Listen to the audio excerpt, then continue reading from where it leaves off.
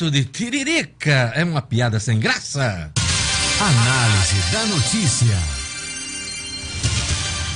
Olha, no dia que a Folha de São Paulo publicou pesquisa mostrando que 60% dos brasileiros rejeitam parlamentares que atuam no Congresso Nacional, sejam deputados, sejam senadores, o deputado Tiririca anunciou que vai se aposentar.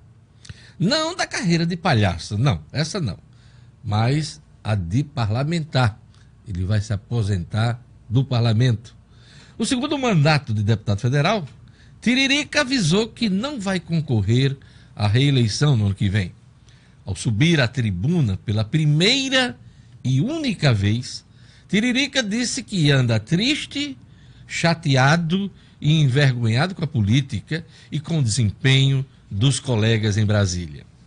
Ele fez um apelo para que o parlamento se volte aos interesses do povo. Ele disse que jamais falaria mal dos colegas, mas fez referências ontem às mordomias, às carteiradas e ao bom salário recebido por eles, incluindo, claro, o Tiririca, o próprio Tiririca. Antes de se eleger pela primeira vez, Tiririca cantava, bradava e perguntava no horário gratuito da TV. O que faz um deputado federal? Eu não sei, mas vote em mim que eu te conto. Agora, Tiririca, que optou por ser assíduo e discreto no parlamento, já sabe. Ele já sabe. Duvido muito que Tiririca saia Brasil afora contando o que viu e testemunhou no Congresso Nacional.